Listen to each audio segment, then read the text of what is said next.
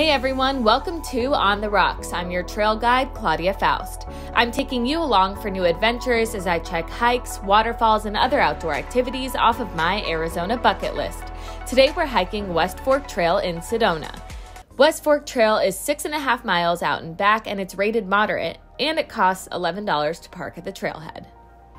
West Fork Trail is one of the three most popular hikes in Sedona and I hope we're about to see why.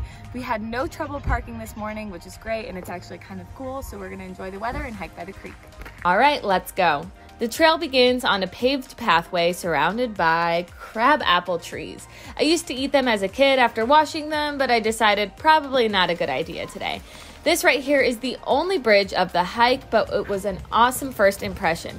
Within minutes of hiking, we couldn't help but notice all of the plant life surrounding us. We saw so many bright flowers, berries, and more crab apples, but I don't recommend indulging. The trail is very open and green, and you'll immediately come across things to explore, like this old rundown cabin that's also next to a cave with a doorway.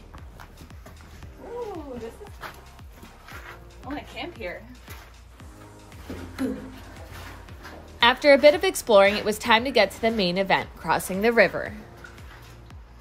West Fork Trail has 13 river crossings, so we'll start counting, and this is number one.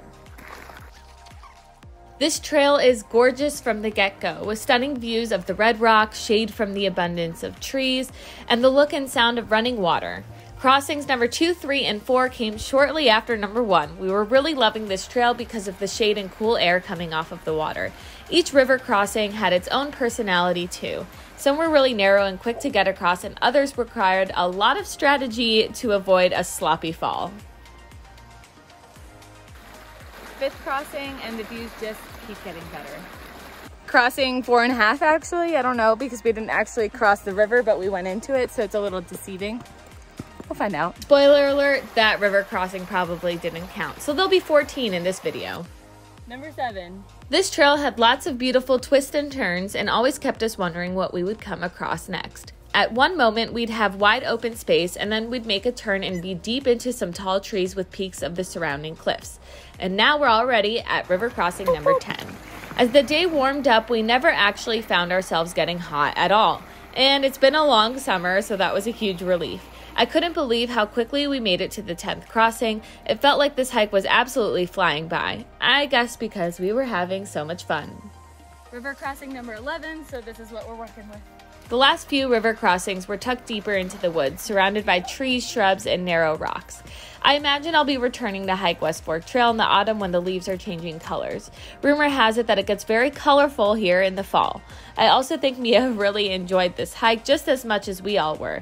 We started to notice some clouds rolling in, but it didn't seem like it would storm quite yet. And guess what? We also got to see a heron crossing the river in the opposite direction on river crossing number 12. Well, 11 if you want to count correctly. Made it through, lucky number 13. Listen, probably messed up. This is 14, 13. I don't know, we're not even at the end yet, so don't count on me to count. But then we finally got the sign that we were at the end, and it was a physical sign. Not gonna lie, I'm gonna actually have to go back and count how many times we crossed the river, but one thing I do know is that this hike is a must do. It has to go right on the top of your bucket list.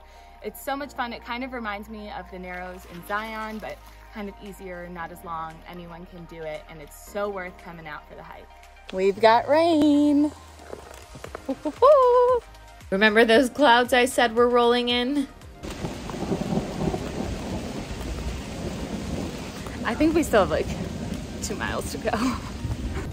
This was actually a really fun experience. Even though we were getting soaked head to toe, it didn't bother us. We were planning to be in the water anyways. Okay, this hike was awesome. And you know it's awesome because I'm still saying that after being soaked head to toe, this is a absolute top of the list must do hike. There's lots of shade, Hopefully not rain when you go, but it didn't even ruin the experience. Absolute blast. Gotta do it. Thanks for joining me. I'll see you next time on The Rocks.